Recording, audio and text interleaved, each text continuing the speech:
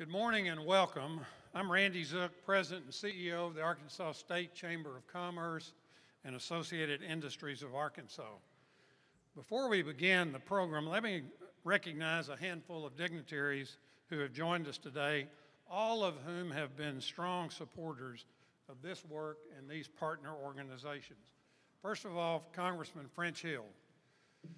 I wish all of you could have heard his off the cuff remarks about uh, this whole program just at a breakfast meeting this morning. He absolutely nailed it. Thankfully, we got video, French, so we preserved you. Senator Jane English, uh, the godmother of all things workforce in Arkansas. Dr. Charisse Childers, where is Charisse? Right here, with the Arkansas Department of Workforce Services. Mike Preston with the Arkansas Secretary of the Arkansas Department of Commerce, and Stephen Sandherr, President of Associated General Contractors of America. Let's thank all of them for being with us.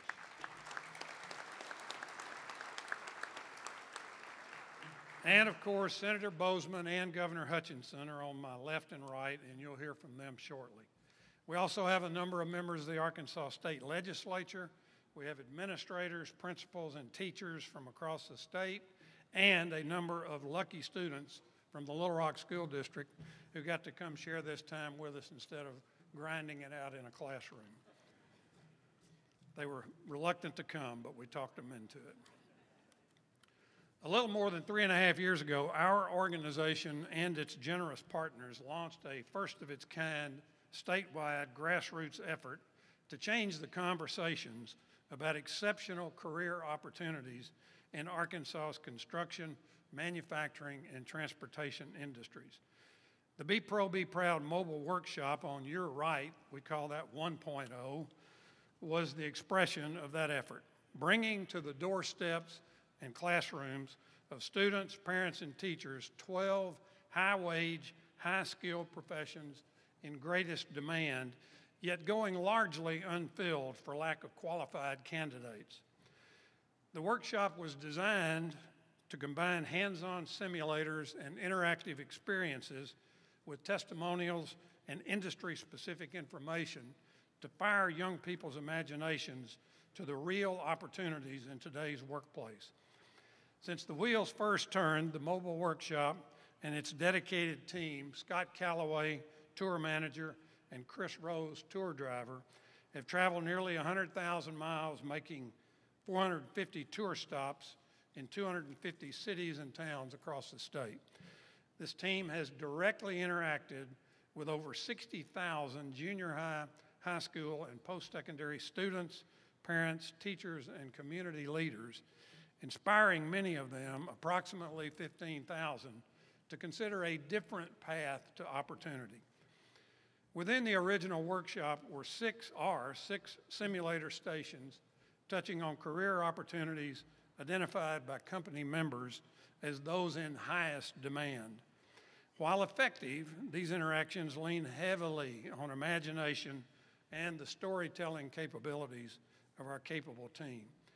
But with this launch today, that will no longer be necessary. Behind me sits Be Pro 2.0, the new and vastly improved mobile workshop. At four times the size, this new workshop utilizes driving simulators, hands on tools, and augmented and virtual reality systems to put visitors directly into these careers. I'm seriously considering parking it at the state fair and charging 20 bucks an hour for people to go through this. I think it would outpull the Ferris wheel. It showcases three newly added career fields, expanding on the 12 that we had previously promoted and adding content directly related to opportunities in telecommunications and electric utility sectors. Today, we also launch a new Be Pro, Be Proud work website. Users will immediately experience improved functionality and expanded content. Our partners will have access to a growing database of candidates who have self identified as having an interest in learning more about one or more of the training and career paths this effort promotes. None of this could have been possible without the enthusiastic support of a large group of public and private partners. On the placards of each side of the stage and on the backs of your programs, you'll find a listing of those who have helped make this possible. Our special thanks today goes to Union Pacific Railroad, the overall tour sponsor for 2019 and 20. You'll hear in a minute from Scott Moore, Senior Vice President and Chief Administrative Officer of UP. And finally, let me give all the credit deserved for this project to Andrew Parker. He has tirelessly and persistently raised the money, picked most of your pockets to make this all possible, and has done one whale of a job. Also, I'd like to say a special thanks to our marketing partner, Stone Ward. There's several of their team here. They were instrumental in making all of this come together over the last three and a half years or so. And now to begin the program, let me welcome the Honorable Frank Scott Jr., Mayor of the City of Little Rock, to the podium to express his greetings.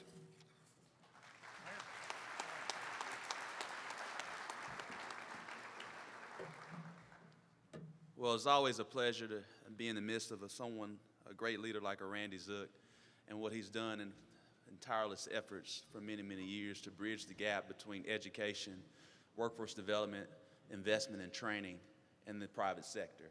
And this is a great example, and we are especially happy here in the city of Little Rock to be the home base uh, for this very much so a statewide program on workforce development, investment, and training, uh, the true Be Pro, Be Proud 2.0. Uh, as you know, that Andrew has picked the pockets of many of you. He's going to probably continue to do that.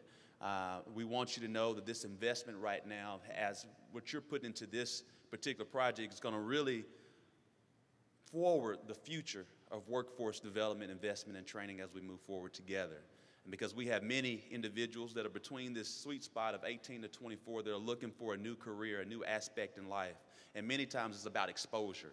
And that's what you're going to receive from this particular project is more exposure to our youth, our young adults, as we are all trying to figure out new career pathways. And this is a great example of that, connecting those dots. So we want to say thank you on behalf of the city of Little Rock on being the home base for this statewide program. We want to commend Andrew Parker and Randy Zook and many of those public-private partners that are putting together to truly show what a public-private partnership really is. And this is an example of that, and we want to continue to multiply this and move forward. Thank you so much, and welcome to the city of Little Rock.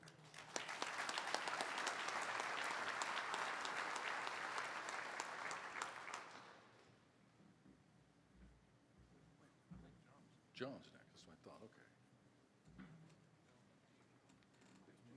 It's me, well, I'm gonna do it. I think it's Rachel. It's Rachel? Yeah. Okay. There we go, here I am. Good morning, I'm Rachel Petrie. I am the Consumer Publications Publisher for Arkansas Business Publishing Group. Since the launch of Be Pro, Be Proud, I've been longing for a way for our company to plug in to the state's workforce development effort in some way. As the publisher of the state's business magazine, it seemed a natural fit to partner with the state chamber to combine our resources to enhance the purpose of Be Pro, Be Proud's amazing initiative. In August of 2017, our CEO and owner, Mitch Bettis, and I met with Randy and Andrew to get an update on how things were going so far with Be Pro, Be Proud.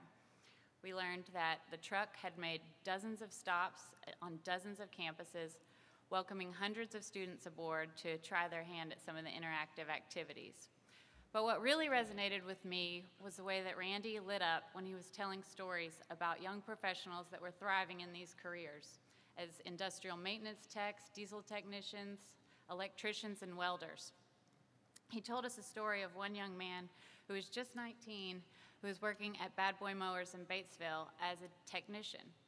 Because that man had achieved his associate's degree concurrently while he was in high school, he was able to get a job right out of high school and was making nearly $60,000 a year, was able to buy his own home. And that's really when it clicked for me. That's how we could plug in. We tell stories, and these stories needed to be told. Young people of Arkansas needed to know that the four year college path may not be the right one for everyone. That if they didn't want to sit at a desk every day, they could get trained quickly and at a fraction of the cost, hit the ground running in a career they loved, and afford a lifestyle they never thought possible. They could buy that truck they've always dreamed of, own a home, start a family, while many of their four-year peers were still in school studying and incurring more debt. Last year, with the support of the Chamber and many of you here today, including the Department of Commerce, Tyson Foods, Pace Industries, and many others, we launched Arkansas Next Pros magazine. In it, we highlight 15 young professionals who are thriving in these careers, lifting them up as the leaders that they are in industry. We distributed that issue to every 8th, 11th, and 12th grade student in the state in all 75 counties. And I got to tell you, the feedback has been absolutely tremendous. We have guidance counselors telling us that they learned just as much, if not more, than the students did, therefore felt more equipped to recommend these careers to them. Teachers told us that students who typically would zone out during the traditional college prep period of class finally saw a path for themselves that didn't include four more years of studying.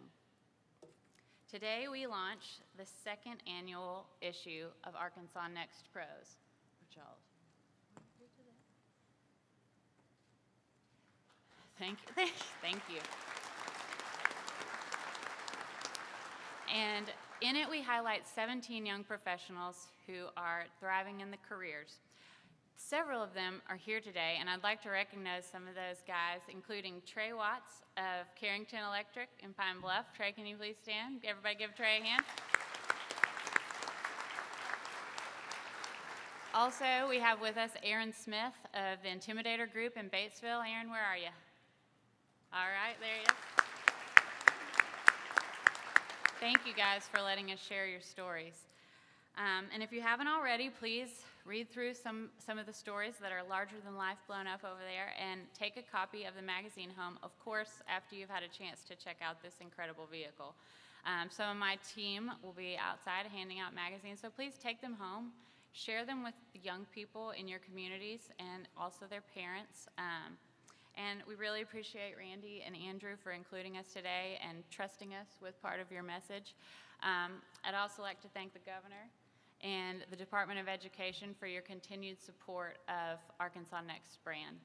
We really, truly are all in this together to create a bright future for our state. Thank you.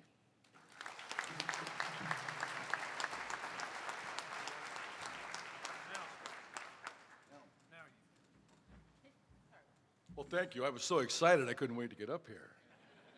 I'm Scott Moore with Union Pacific Railroad, and it's my privilege and pleasure to be here for a great day in Arkansas and a great day in Little Rock. And I'm here today on behalf of my CEO, Lance Fritz, and the almost 40,000 employees of Union Pacific, a few of which are here in the room today. And so the UP folks just stand up here. There's, we have workforce resources, we have trainmen, we have mechanics, we have, this is the folks that make the UP run. Thank you. That's one of those things, a company like Union Pacific was made by Abraham Lincoln's hand in 1862, 157 years ago. The first predecessor of Union Pacific came to Little Rock in 1873. And if you've read about the railroading then and now, there was a lot about hard work, a lot about hard work outdoors, a lot about uh, uh, making the next mile, getting the train there on time, making the customer happy. And when you talk about the work that, let's say, a mechanic did for the last 150 years, that's changed and changed over time. Though, even yet today, there's some certain basic things to get things tight, but there's a lot of computers going on there to make that locomotive work. Um, same thing if you're a, a, a, a, locomotive engineer. I mean, obviously, there's the throttle, there's the key, and getting at the notch eight gets the product delivered on time, but there's a whole bunch of information coming through the computer you have to know about. Um, and if you're a, a, track gang doing work, I mean, obviously there's a, a lot of physical work there, but in the end, a lot is about technology, making sure the track is safe, the track bed is safe, the tie is safe to make sure that the product can be delivered on time. So it's all of that transitionary work that is really captured in the Be Pro, Be Proud thing, to understand that work is ever changing. And uh, that's why it's a, was, a, was a great thing when I heard we heard about this particular project. Now, Union Pacific, we've had a foundation for uh, uh, almost 60, 65 years. Uh, the original foundation literally was a, a court case. Is can a corporation give money for community good? Think about that being a court case, but that's what it was. But our foundation was focused on many things and therefore focused on nothing, but did a lot of important things across our 23 state system. So a few years back, we decided we're going to focus our efforts on a few things. One thing is safety. Safety is in the DNA of Union Pacific, keeping our employees safe they go, so they go home at night, keeping our community safe so we deliver our customers' product on time. Safety is important. So that, we're going to find ways to help communities be safer.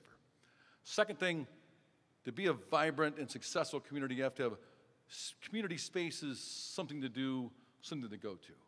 Railroads have a long history with our National Park Service, and so uh, on the national level, national parks, but a variety of community spaces that bring culture, openness to all sectors of society as things, things we do. And lastly, we struggle with this because it's one of those things where our communities, 7,000 communities in 23 states, said, well, what you, uh, our number one thing is workforce development.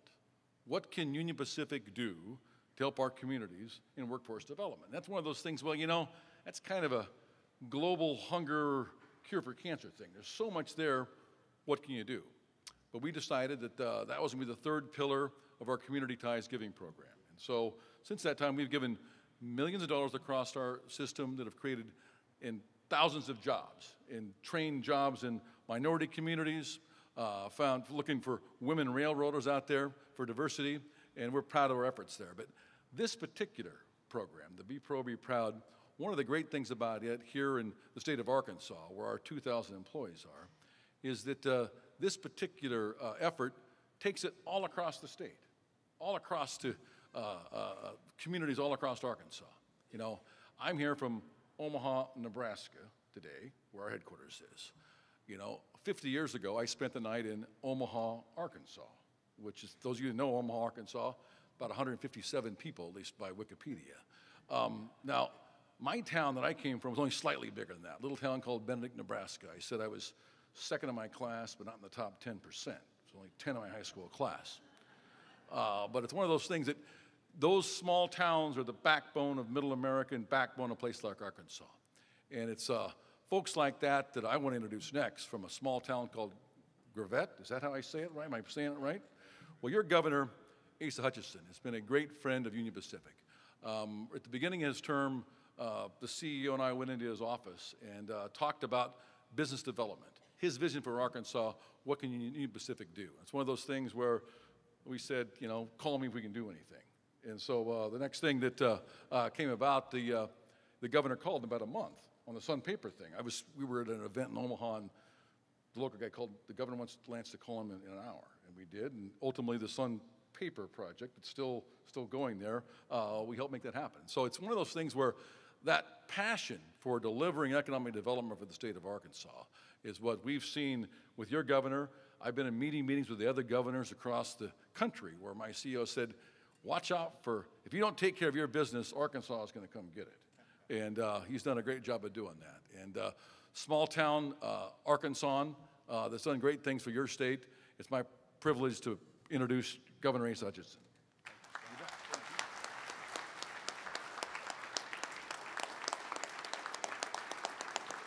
Thank you. Thank you, Scott, and thank you for working that particular weekend uh, extra hours so we could uh, get it right on that project. Union Pacific, your leadership has always been responsive, and your partnership in this endeavor has been uh, very important. Ladies and gentlemen, I remember four years ago, uh, Randy Zook and his team came into my office and presented this idea of be pro, be proud. And of course, I immediately recognized this as really meeting a great need of our state. And I applaud uh, the state chamber uh, for their leadership on this, Randy, uh, for making it happen and making it a reality. And uh, shortly thereafter, uh, they brought this uh, vehicle in, and I went out and I got to tour it and take some pictures in it. And then, right before I came up here today, before we started the program, I went into the new Be Pro, Be Proud. And I'll just tell you, this is bigger and it's better. And uh, it's going to produce uh, incredible results uh, for our state. And since uh, this was initiated, the partners have uh, joined in it. Uh, the Delta Regional Authority is always a key partner. Our Department of Commerce through Career Ed and AEDC, Union Pacific again. Those partnership have helped carry out this mission. And the need is very great. Whenever you talk to industry anecdotally, you know that when you have a 3.4% unemployment rate, they need workers. And in fact, statistically, 82% of manufacturers uh, indicate that there is a labor shortage. 82%. And so the need is great for those to be trained, to be skilled, to understand that there is an opportunity for them. And I believe in college. I support our higher education. And we can't have a conflict in this state, and there should not be, and I don't believe there is. But we need to understand fundamentally that not everybody is going to go to college. Not everybody is going to get a four year degree, and they need to see options that they can have and that has meaning and dignity and honor and that they can provide for a family. And it's about messaging, it's about giving hope, it's about believing in your future and giving the options that work for you. And those paths take different directions. They might be in career education and they shift over to a two year and a four year degree, but they still have the opportunity to work with their hands. So this gives more options that are out there and creates that skilled workforce. This first mobile workshop has been pointed out, had 450 stops, 250 cities, and 60,000 students have been touched by this first original mobile workshop. Now, I believe that there are results from this. If you look at the last four years since this initiative has been created, our high school graduation rate has gone up four consecutive years. And And in fact, we have consistently moved up. We are now 14th in the nation. If you like education statistics, we're 14th in the nation, Arkansas is, in our graduation rate. Now, why has that happened? I might not be able to prove it uh, through data yet, but anecdotally and through logic, I tell you, I believe that our graduation rate has increased because we have given young people options and hope and an understanding that they can fit in through an education path that will lead to a good paying job. And I think that's what this has done, and that's a success story.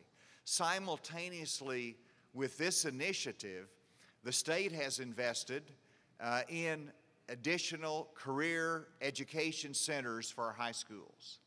When I became governor, we had 54 high schools that did not have access to a career education center. Because once they see this mobile workshop, it leaves town. They have to have an opportunity to have their dream fulfilled, and that is through our career education centers. And there, where there were 54 high schools without a career education center close by, that has been reduced down to 10, and our goal is to eliminate it all so that every high school student has access to a career education center.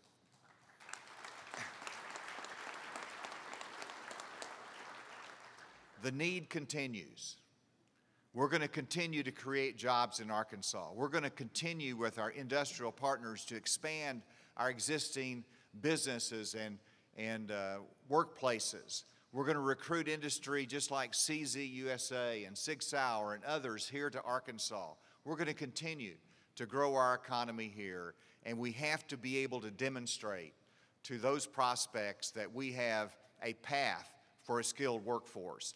This is the beginning of that path and the demonstration that we can fill the needs of industry in our workforce. I want to assure you that you have invested in this and the state will continue to invest in it. We have legislators that are here, our senator is here. I see others that are in the audience, and they support workforce education. And I very likely will come to you in the future and say we need to invest more. Whenever we see this success and the greatness of the need, if we can get this right, then our future is secure.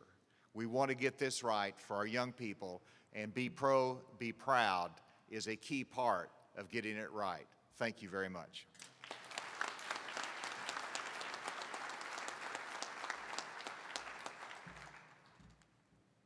Thank you, Governor. Good morning. Okay. Good morning. Hey, my name is Chris Caldwell, and I'm uh, with the uh, Delta Regional Authority, and very proud to uh, uh, share the stage with these great leaders and and uh, to have our agency be a partner in this great program. Um, I just spend a lot of time in the workforce development arena. Um, I've uh, been chewed on by Senator English more than once, as everyone else has here. But this is a, a term that gets thrown around a whole lot. Uh, people come and ask uh, me for money for grants for workforce development, and it's just we, we slap it on. And it's really frustrating to someone that uh, spends a lot of time in distressed and impoverished areas with high unemployment and high um, uh, uh, dropout rates and, and across every metric. Uh, and when I first learned of this program, uh, I was still in Senator Bo- Boozman's employ about four years ago. Uh, in 2016, Andrew Parker called me and said, I'd like to come by your office and, and, and tell you about something that we were doing. And I think my immediate reaction was, is we've got to show this to Senator Boozman. And I remember we, he assembled some of his board and some of his partners, and we met back at the chamber headquarters and, uh, uh, and presented to Senator Boozman this program. And, you know, it wasn't too long after that that the truck was here and Senator Boozman convened the whole delegation to come to his office with Senator English and Andrew and Randy to present this to the administration and the Secretary of Labor. Not long after that, uh, Senator Boozman got so tired of me that he got uh, the president to uh, nominate me to the DRA so he could be done with me. And I was walking uh, in a meeting in, in the White House, and an official at the Department of Labor stopped and was like, Hey, you were in that meeting a couple years ago, Senator Boozman's office, that Be Pro, Be Proud. He's like, Yeah, he goes, I want you to know that, like, after I saw that, I've shared that all over the country because that's true workforce development. That's an intention. This is this is we're not we're not we're not training people uh, in, in in soft skills. These are hard skills that are going to relate to a job. And you know, one thing that I learned in in my eight years of working for Senator Boozman was uh, uh, teamwork and alliances. And he was. Uh, I won't say any quotes that he said because he'll probably quote Frank Broyles at least twice while he's up here. But uh, to me, when I came to DRA and, and Andrew called me about version two here, that really and truly, you know, sold me on it, uh, was it I knew the need and I believed in the program because I've seen it, but it's all the list. It's that private industry and leading that because I have to answer to these appropriators for every dollar. And when I'm just a fraction of what you, private industry, has done, I think that's a good place for me and anybody else in the government to be is listening to you, the people hiring people, the people making products, and the people that are driving this economy. And so I'm very proud to, uh, for our small role in this. Uh, I'm very proud to uh, have continued the relationship with this from where it started with Senator Boozman.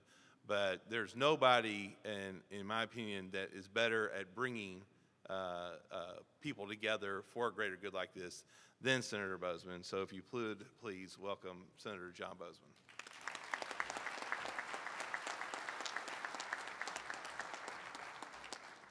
Thank you all. It's great to be with you. Andrew gave me a tour of the uh, display. I didn't really know what to expect. I'd certainly spent time in the other vehicle, so I go in there and, and uh, I can't imagine it being any nicer. So, congratulations, Andrew, and uh, all of you that have worked so, so very hard to make this a reality. What I learned when I was in there is that I had a natural affinity for being a backhoe operator. Some of you wish I would go ahead and do that. but it's great to be with you. And this is all about jobs, jobs, jobs in the economy. As I go around the state, uh, and I've spent the last four weeks going around the state, four and a half weeks, that's all I hear about. We're blessed, we've got a low unemployment, but in order for us to go forward, in order us to create new jobs, we have to have the workforce to sustain that. That's a great problem uh, with the low unemployment rate. The, the recipe, know, government can't create jobs, but it can create a situation where the economy can grow and thrive.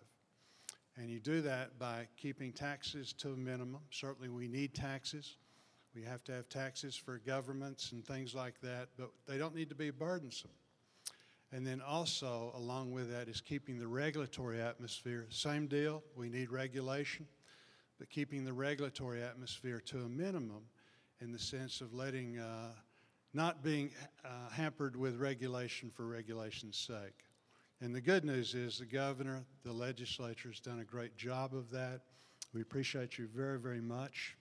Uh, record unemployment, uh, low unemployment, uh, that's a great thing to tout. The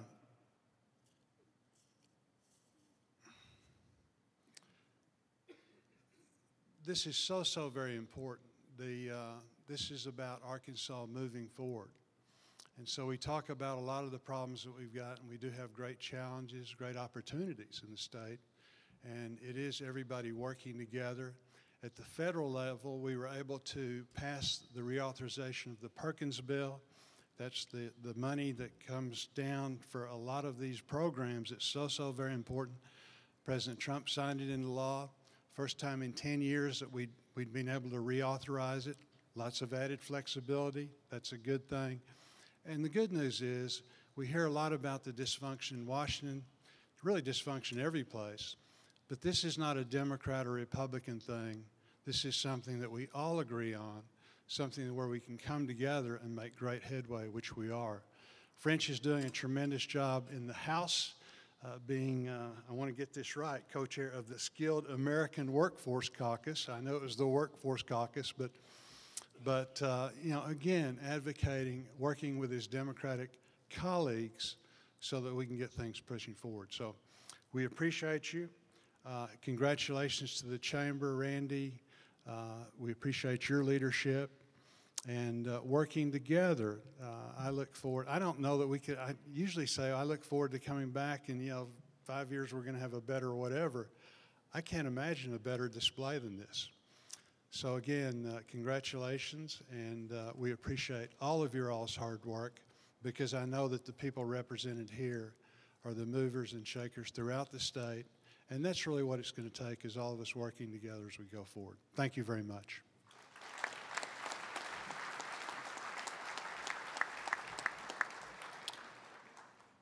I'm not certain, but I don't think I introduced Attorney General Leslie Rutledge.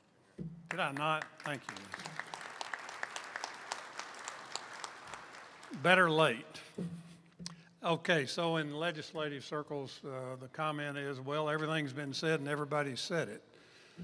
So I think that's where we are right now. Thank you very much for coming out and expressing your support for this uh, uh, challenging but absolutely satisfying and worthwhile effort that's underway. We appreciate all the partners, we appreciate all the policymakers and leaders in the state that are supporting and encouraging it. Now, um, take a shot and uh, take a look and at least walk through uh, the new Be Pro, Be Proud 2.0 workshop Thank you very much for coming. Appreciate you being here.